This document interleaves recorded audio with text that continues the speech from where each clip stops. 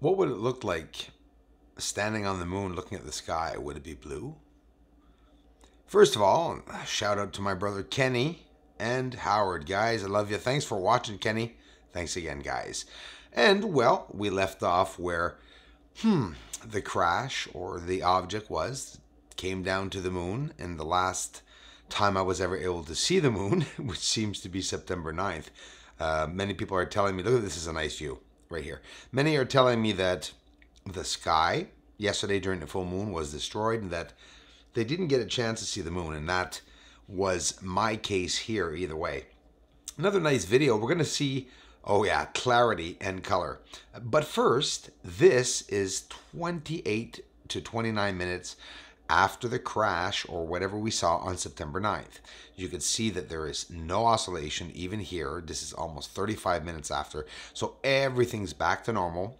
And the oscillation, not necessarily meaning it was the object. I'm not trying to, uh, you know, force you to say, think it was that, but we did see an oscillation. So whether it was the chemtrails, whether it was that, uh, again, I see chemtrails going over the moon and it doesn't have that effect. You can see the cloud it's black in my telescope anyways when I see it going over. Sinus iridum at the top and those two aren't the craters so perfect, right? When you look at them and you go, how can they be craters, right? They all look the same. you move in close up and when you do get in pretty close up, well, you can clearly see that the craters are uh, they look manipulated anyways. There's a light inside the crater as we're going upwards. And I always ask myself, why is there an energy source all the time inside of, yeah, most of the craters actually? And we could see along the Terminator line. This video, my friends, we're going along the Terminator line extra slow. It's going to be pretty nice to see all the colors. And don't forget, I'm trying to look for little details that we don't usually see with smaller scopes, right? Trying to slow it down. It's not easy. You have to really slow it down and to get a clear angle and shot. And you could see all the Earth-like surface. I love saying that because it's just true. And you'll see there's that light in the crater. And you'll see what I mean as we progress here. So now I want you guys to pay attention here to the blue area. I don't need to put a markup on it. I hope you're seeing a blue area on your screen. It's Mare Imbrium right in the center.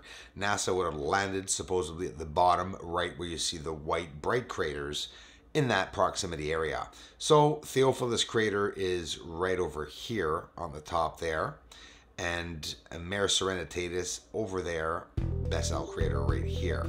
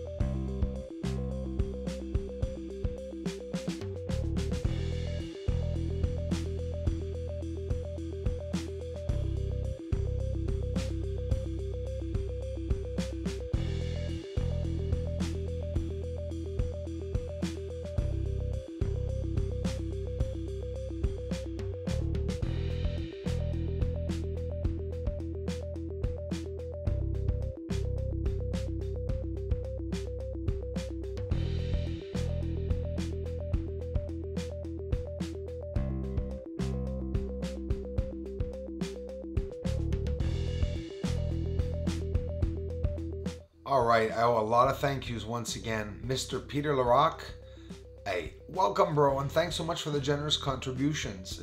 Shar, Shar Gordon, as usual, thanks so much for the contributions. But um, Peter Larocque says, and I love these messages seek and ye shall find. I love all the messages you guys leave me. And Shar says, Hey, my friend, which is ridiculous. Sorry I haven't been able to donate anything for a bit. Right, it's been like, what, days?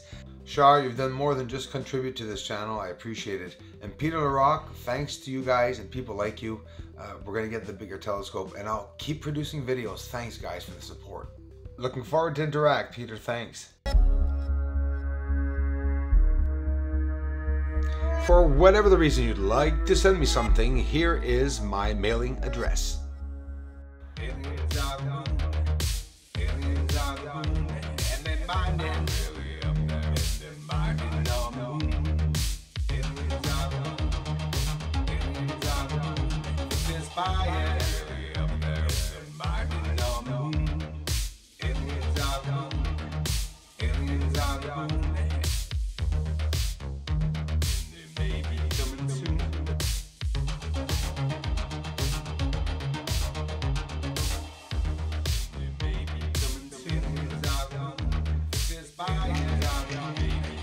Fire,